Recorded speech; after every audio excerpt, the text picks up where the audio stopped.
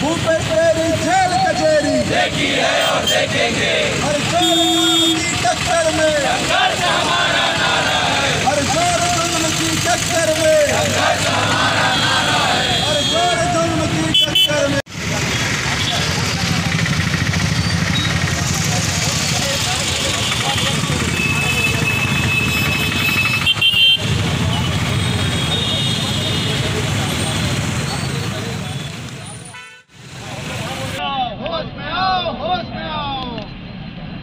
यहाँ पर है हम प्रदर्शन में, सांकेतिक प्रदर्शन में। आज हमारे साथ है अमित महेश्वरी जी।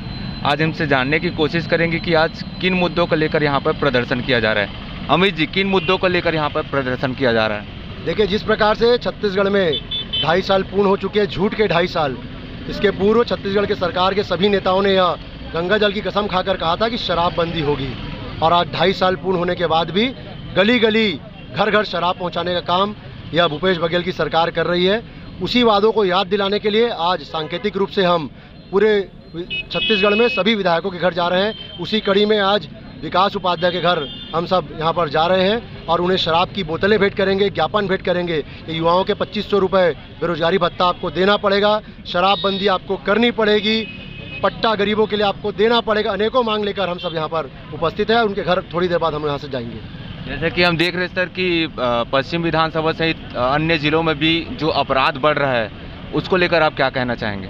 देखिए, निश्चित ही रूप से साढ़े पाँच हज़ार से ज़्यादा बलात्कार और पैंतालीस सौ से ज़्यादा अपहरण केस दर्ज होते हैं। मुझे लगता है, जितने बलात्कार के केस दर्ज होते हैं, उतने ही दर्ज नहीं होते और ये मानना है कि दस हज़ार से ज़्यादा बलात्कार छत्तीसगढ़ में हो चुके हैं। ये सरकार कैसी चल रही है?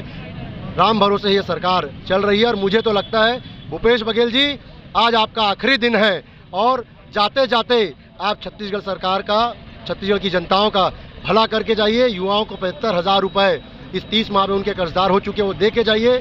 शराबबंदी की घोषणा करके जाइए। हो सकता है आने वाला समय आपके लिए अच्छा हो। बहुत बहुत धन्यवाद। जानना चाहेंगे किस प्रकार से पुलिस प्रशासन के द्वारा यहाँ कार्यकर्ताओं को रोका गया है? किन मांगों को लेकर यहाँ पर प्रदर्शन कर रहे हैं? हम जानते हैं।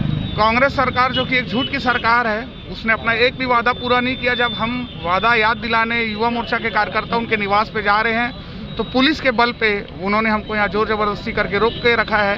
लेकिन मैं बताना चाहूँगा कि ये रोक सकते हमको, लेकिन हमेशा के लिए नहीं रोक सकते। लेकिन हम बहुत जल्द एक बहुत बड़ा प्रदर्शन पूरे प्रदेश में चलाएँगे शराबबंदी को लेकर। अनिल सोनकर जी हैं, उनसे हम जानने की कोशिश करेंगे कि किन मांगों को लेकर यहाँ पर सांकेतिक प्रदर्शन किया जा रहा है।